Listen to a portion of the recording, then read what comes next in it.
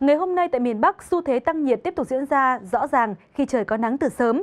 Nắng vàng bao trùm khắp mọi nơi nhưng không quá nóng, mang đến những ngày nghỉ cuối tuần thực sự có ý nghĩa. Tuy nhiên dạng thời tiết này sẽ chỉ duy trì trong ngày mai trước khi Bắc Bộ đón một đợt không khí lạnh rất mạnh tràn về sau khoảng ngày 14 tháng 12. Nhiệt độ tăng ban ngày nhưng về đêm lại xuống thấp nên dự báo sương mù dày sẽ xuất hiện trở lại vào sáng mai. Nhiệt độ dự báo cao nhất trưa mai ở Hà Nội là 26 độ. Mọi người nên tranh thủ dọn dẹp nhà cửa và giặt rũ quần áo bởi sang tuần sau khi không khí lạnh tràn về, thời tiết sẽ chuyển mưa lạnh. Trung tâm Dự báo Khí tượng Thủy văn Trung ương nhận định do vào chính đông nên các đợt không khí lạnh sẽ có xu hướng tăng dần về cường độ. Dự báo nền nhiệt độ trong ngày 15 và 16 tháng 12 sẽ xuống thấp nhất khi thời tiết kèm theo mưa phùn. Thậm chí vùng núi cao có thể xuất hiện băng giá. Năm nay do ảnh hưởng của hiện tượng El Nino có cường độ mạnh nhất trong vòng 60 năm qua nên mùa đông ấm hơn trung bình nhiều năm một độ.